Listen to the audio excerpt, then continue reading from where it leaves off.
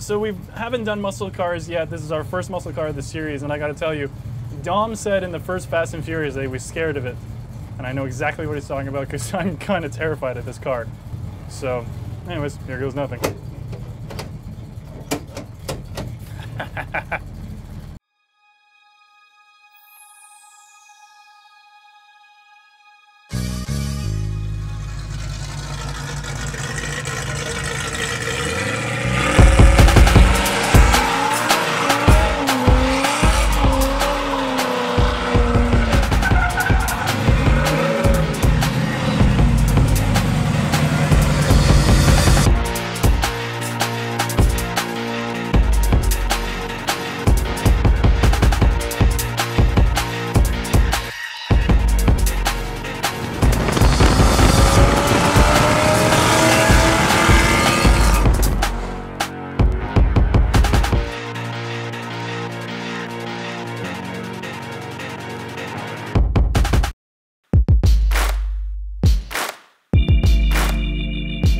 cars has always been a hobby for me for as long as I've seen cars on TV.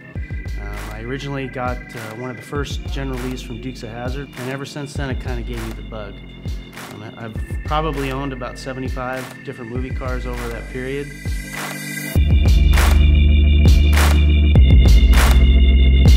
My name is Bob Hartwig. I'm an owner and partner at Picture Car Warehouse, and this is my Fast and Furious Charger. This is the Fast and Furious Charger.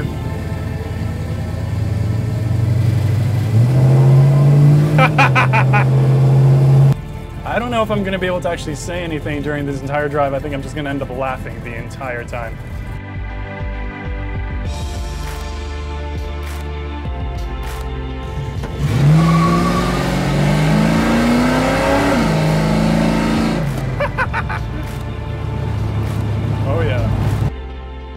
Always been a, a Mopar guy, a Dodge guy, just because everybody else had Chevys and Fords, and at the time, the, the lines of the Mopar were so much better to me, and so many more cool things like the Hemi. You saw them in movies, Bullitt, you know, Dirty Mary, Crazy Larry. Fast and Furious is probably the greatest car franchise ever created at this point because you know you're into your seventh movie, and uh, everything about it celebrates the automobile. And of course, in the first movie, what did they do? They highlighted the Charger. I wanted to have something from Fast and Furious. When Fast 4 came out and they had a bunch of cars that were uh, done being used, I bought a bunch from Universal. Only two of them had real Mopar drivetrains, and one of them included this car. And then the neat thing about the car was they also needed in Fast 5. So they called me and he said, Hey, we need to use your car in this sequence. I'm like, Sure. But mine was satin black. So they go, We want to paint it gloss black. So for the sequence in 5, which Paul Walker actually drove this car, they did everything in this Charger. Now in Fast 7, they go back to this style of Charger again. So they called me and said, hey, we need to use your car. They took it to Atlanta, and now with just a change of wheels and some minor things, that car is also featured in Fast 7.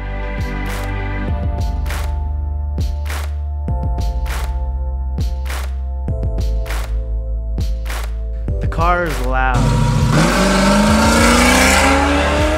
Of course, the, the expectation with a blower is that this thing's gonna do, you know, a 9, 10 second quarter mile, which it won't, but it sounds like it will. And that to me is important because nobody messes with it. You go up to a stoplight, that thing's sitting there rumbling, you flip the switch, the blower starts turning on, and everybody just goes,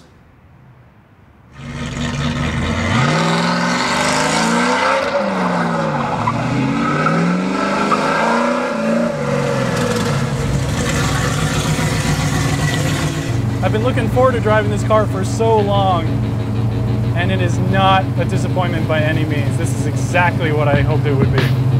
It is a loud, hard, brutish American muscle car. This car is terrifying.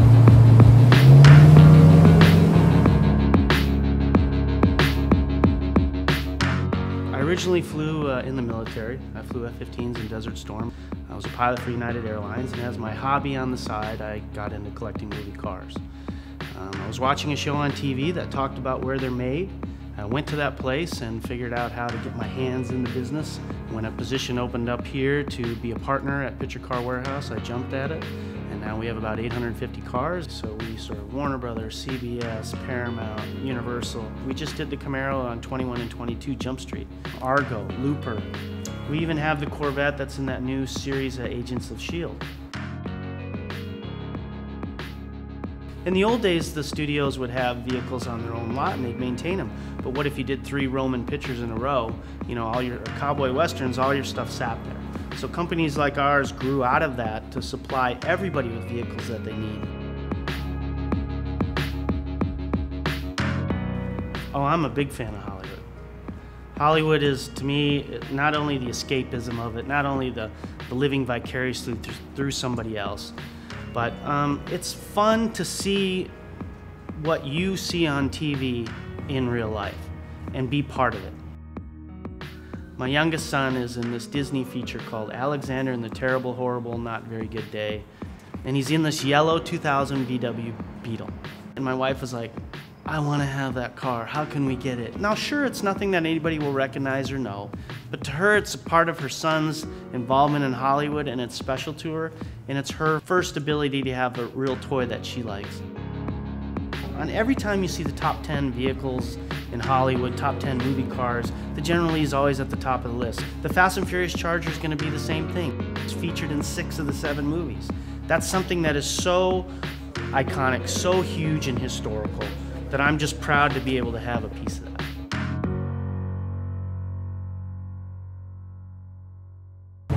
Now my question to you is,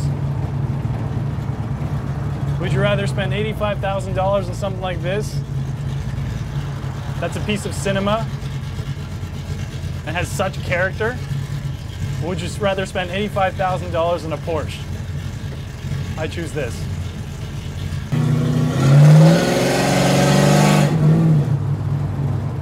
God, that's loud. I don't recommend hitting the gas when you're next to another car.